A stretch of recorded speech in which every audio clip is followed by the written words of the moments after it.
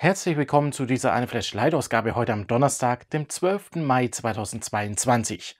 Heute haben wir wieder interessante Themen für euch, unter anderem rund um The Angel Next Door Spoils Me Rotten und vielen weiteren interessanten Themen. Also lasst uns keine Zeit verlieren und loslegen.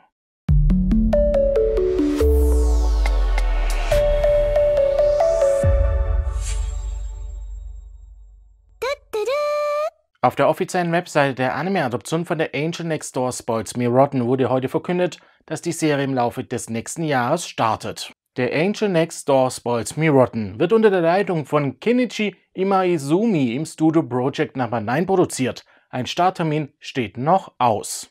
Durch einen Eintrag im Programmplan von Pro7 Max wurde vor kurzem bekannt, dass der Free-TV-Sender die Serie Fairy Tail in wenigen Wochen erneut ausstrahlen wird. Fairy Tail ist nach aktueller Planung ab dem 3. Juni um 18 Uhr wieder auf Pro7 Max zu sehen. Jeweils von Montag bis Freitag wird dann der beliebte Anime auf dem aktuellen Sendeplan von My Hero Academia zu sehen sein und beginnt mit Episode 125. Im Anschluss können die einzelnen Episoden wie gewohnt für begrenzte Zeit kostenlos in der Mediathek des Senders gestreamt werden. Pro7 Max hat die ersten 277 Folgen von Fairy Tail sowie die beiden Filme Phoenix Bristers und Dragon Cry bereits vor geraumer Zeit ausgestrahlt. Darüber hinaus sind diese bei Kase Anime mit deutscher und japanischer Synchronisation auf DVD und Blu-ray erhältlich. Wann der Disc-Release und die TV-Ausstrahlung der finalen Staffel startet, ist zum aktuellen Zeitpunkt noch nicht bekannt. Ebenfalls wurde durch einen Eintrag im Programmplan von Pro7 Max bekannt, dass die dritte Staffel von Bungo Stray Dogs in wenigen Wochen erneut ausgestrahlt wird. Die dritte Staffel von Bungo Stray Dogs wird demzufolge ab dem 3. Juni jeweils in der Nacht von Freitag auf Samstag um 0.20 Uhr wieder mit deutscher Vertonung auf Pro7 Max zu sehen sein. Die Serie übernimmt damit den aktuellen Sendeplatz von Kono Suba.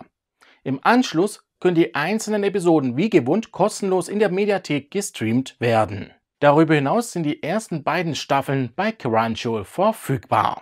Auf dem Twitter-Account der Anime-Adoption von Mob Psycho 100 wurde heute verkündet, dass die dritte Staffel ab Oktober diesen Jahres im japanischen Fernsehen ausgestrahlt wird.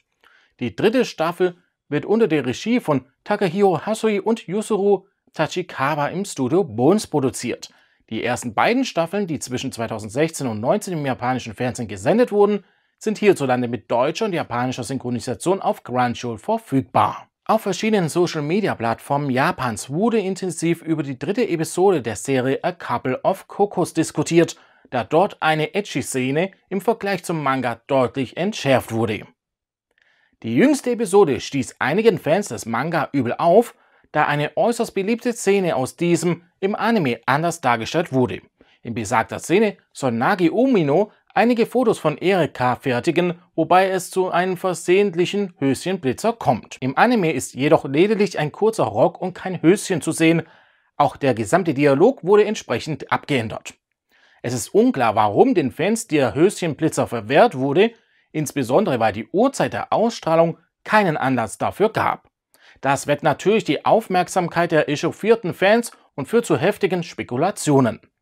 Allen voran der ausstrahlende TV-Sender TV Asahi und auch Quanchul, die in der Produktion mitwirken, wurden verantwortlich gemacht. Hierzulande läuft der Couple of Cocos seit dem 24. April jeden Samstag um 20 Uhr auf Crunchyroll im Simulcast. Amazon Prime Video hat sein Portfolio am Mittwoch mit der Anime-Serie The Pet Girl of Sakura So erweitert. Alle 24 Folgen des Romcom-Anime können ab sofort mit deutscher Vertonung ohne Mehrkosten von Prime-Mitgliedern auf Amazon angesehen werden. Der japanische Originalton sowie deutsche Untertitel sind wie bei den meisten Anime auf Prime Video üblich ist, nicht verfügbar.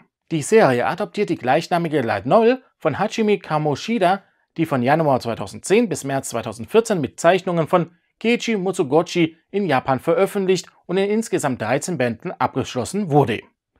Animum Publishing veröffentlichte die Serie auf DVD und Blu-ray. Durch einen Produkteintrag bei Amazon wurde vor kurzem bekannt, dass die Veröffentlichung der ersten Volumes der zweiten Staffel von Is This a Zombie von Animum Publishing verschoben wurde. Das erste Volume der zweiten Staffel wird nicht am 10. Juni, sondern voraussichtlich erst ab dem 1. Juli als Mediabook als DVD und Blu-ray im Handel erhältlich sein. Diese beinhaltet neben den ersten vier Episoden auf Deutsch und Japanisch Zudem einen Sammelschuber. Für das zweite Volume mit den Episoden 5 bis 7 sowie das dritte Volume mit den Folgen 8 bis 10 sind bislang keine konkreten Termine bekannt. Wir werden euch natürlich auf dem Laufenden halten, sobald wir weitere Details in Erfahrung bringen konnten. Also abonniert schon unseren Kanal jetzt und aktiviert die Glocke, um kein Video mehr zu verpassen. Wichtig, ihr müsst manuell diese auf alle Benachrichtigungen stellen, da sonst der Algorithmus aussucht, welches Video euch gefällt und ihr nicht aktuell bleiben werdet. Auf der offiziellen Webseite der Anime-Umsetzung von Waymail in Gold wurde verkündet, dass diese ab dem 5. Juli im japanischen Fernsehen ausgestrahlt wird. Hierzu wurde auch ein neuer Trailer zusammen mit einem Visual veröffentlicht, den Trailer können wir euch leider nicht zeigen. Der Anime entsteht unter der Leitung von Regisseur Takashi Naoya im Studio Stable Entertainment. Das neue Video stellt den Opening-Song mit dem Titel Abracadabro vor, welcher von Kaoi Ishihara gesungen wird. Ishihara wird in der Serie die Rolle von Cheryl Iridescence sprechen. Das war sie, die Anne Flash Leitausgabe für den heutigen Donnerstag, dem 12. Mai 2022. Ich hoffe, sie hat euch gefallen. Wenn ja, würde ich mich über einen Daumen nach oben, Kommentar in den Kommentaren sowie einem Abo sehr freuen. Aktiviert auch die Glocke, um kein Video mehr zu verpassen und stellt sie auf alle Benachrichtigungen ein, damit ihr auch wirklich über jedes Video benachrichtigt werdet, denn ansonsten sagt der Algorithmus eben, welches Video euch gefällt. Wir sehen uns das nächste Mal wieder. Macht's nicht gut, macht's besser. Ciao.